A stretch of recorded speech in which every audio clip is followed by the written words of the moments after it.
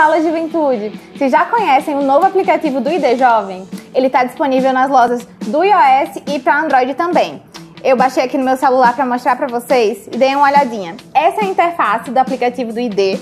Se você é jovem, você clica no primeiro. Se você é empresário, você clica no segundo, porque os empresários podem usar o aplicativo do ID Jovem para validar a carteirinha. Então eu vou colocar aqui sou jovem, no canto esquerdo da tela. Você pode gerar sua carteirinha se você atender aos requisitos do ID Jovem, né, que é ser jovem, de 15 a 29 anos. Não precisa ser estudante, esse é um ponto muito importante que muitas pessoas perguntam se precisa ser estudante para ter a carteirinha. E não. Você tem que estar no CAD único e ser jovem. A partir disso, você consegue emitir sua carteirinha. Logo que você abre o aplicativo, tem uma série de destaques que a secretaria vai alimentando dentro do aplicativo com novidades no governo federal, editais que são lançados, cursos que estão disponíveis e vocês podem ver tudo aqui e ir passando.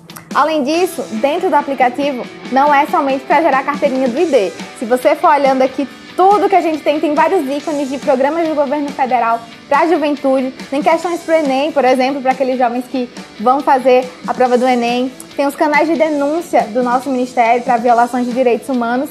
E além disso, tem o Fale Conosco, que você pode falar direto para a Secretaria Nacional da Juventude caso haja algum problema, caso você não consiga emitir sua carteira ou caso você vá num instante comprar a sua passagem e tenha a negativa né, da empresa. Você pode falar direto com a nossa secretaria e a gente vai tentar dar todo o apoio para vocês. Então, o novo aplicativo do ID Jovem não é só para os jovens emitirem a carteira, é para todos aqueles que trabalham com juventude terem um contato mais próximo com a Secretaria Nacional e também verem o que o governo federal vem fazendo para a juventude.